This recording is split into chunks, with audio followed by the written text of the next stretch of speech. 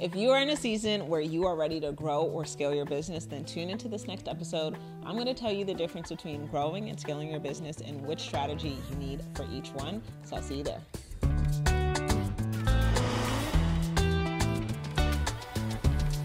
Hey guys, welcome back to another episode of Work Hard, Live Soft, where we talk about how to build a successful business so you can have the freedom to live a life you love. I actually just got off of Instagram and did a little live Q&A, and I had a really good question. Somebody asked, how do I scale my business? Which I think is a great question. But before I answered their question, I wanted to talk about and clarify do you know the difference between growing your business and scaling your business? Because we use those terms interchangeably and they're two different things. And it's really important to make sure that you ask the right question to make sure you get the right answer.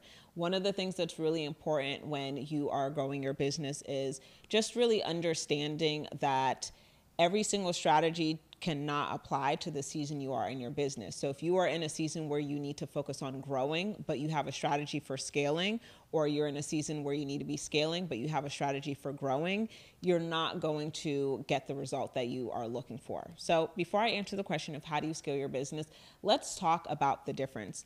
When you are growing your business, your goal is to hit capacity. And when you are scaling your business, your goal is to expand your capacity. And so, an example of what that can look like is when you're growing, you want to think about first, what is my existing capacity?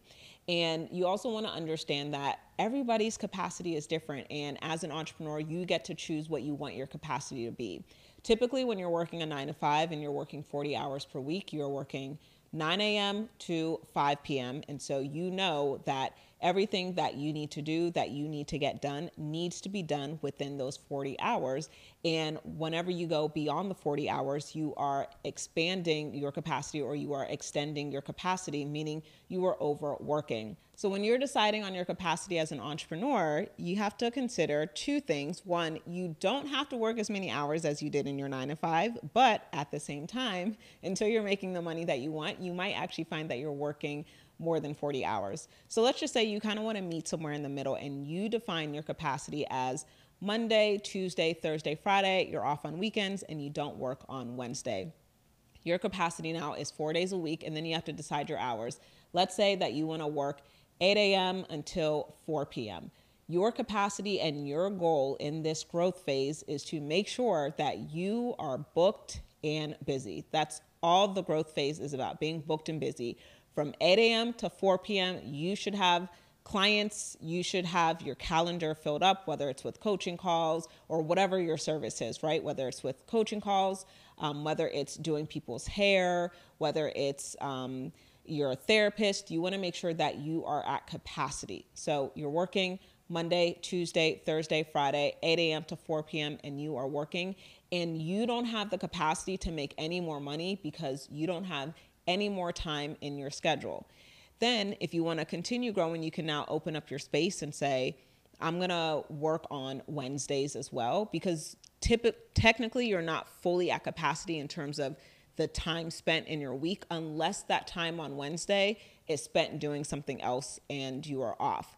Now, what I want you to think about is when you are growing, you also want to make sure that your capacity is in line with profits because where burnout happens is when you are working or you're overworking to capacity or beyond your capacity and you're still not making enough money in your business. Before you even think about scaling, when you are in the growth phase and you're at capacity, you should be profitable. You should be profitable at capacity, or else you're literally wasting your time. Just go back to the nine to five, okay? So, making sure that you are profitable while you're at capacity. This is about making sure that you are pricing correctly. You have to price for profit. When you look at the time spent, is the money you are making per hour exceeding what you need to make sure you are covering your bills, you have savings, and you can also invest. So, making sure that you are pricing for profit. Now, once you are at capacity, then the two things that you need to think about in terms of scale is I need to either go from one to many, meaning more people need access to me at one time, or I need more people on my team to help me fulfill this service. So you might have somebody come in on Thursday and Friday part time to help you get more clients so that way you can be more profitable. Now, the thing that you have to watch out for when you bring somebody else in is that your profits are going to decrease when you go into the scale phase once if you have to hire, right? So you might be bringing somebody else in on a Thursday and Friday so that way you can let's say you're going to make an extra $4,000 a week. So $12,000 a month and you're having to pay that person $4,000 a month. So your profit is $8,000 a month. So you also want to make sure when you're scaling you are scaling intentionally and making sure that even if your profits go down a little bit that you're not regressing. So everything just has to make sense. So i want to know where are you? Are you growing your business? If you're growing your business my recommendation is to collaborate with people get on other people's platforms making sure that you are marketing yourself that you are consistently selling until your calendar is booked. Look at your profits, if you are not working with a bookkeeper or an accountant right now, I definitely recommend that you just monitor what your money is doing. You need to see how much is coming in, you need to see how much is going out. You need to make sure that the money is going out, that it is designed to either save you time or save you money, or else it's a cost and not an investment. We want to be really mindful with our business expenses and our business costs that we are seeing them as investments. They should be making our life easier or they should be getting you back more time or making you more money, or else it's an expense that you might want to go ahead and eliminate.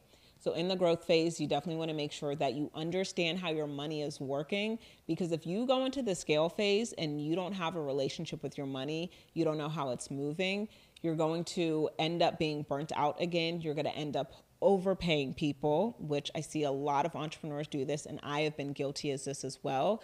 I've been guilty of this when my business grew rapidly and I started to scale and I hired for my revenue goal and not for where I actually was. Now, this isn't necessarily a bad move, but if you are hiring for a $2 million revenue goal and assuming you are um, assuming a 60% profit and you end up making 1.5 million and you only have a 30% profit you're going to find yourself in a very tough place financially. So also making sure that when you are scaling and you are making the right investments and doing the right things that you are paying attention to where your time is going to where your money is going and that things aren't slipping through the crack while you are scaling so I know this was a really short and quick episode, but for those of you who are looking to scale your business, it's really important that you understand the difference between growing, scaling, what strategies you need to implement, and making sure that you are profitable. Strive to be as profitable as possible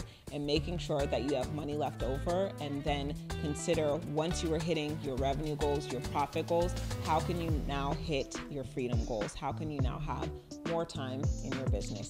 All right, y'all, until next time, keep working hard and working smart so you can live soft.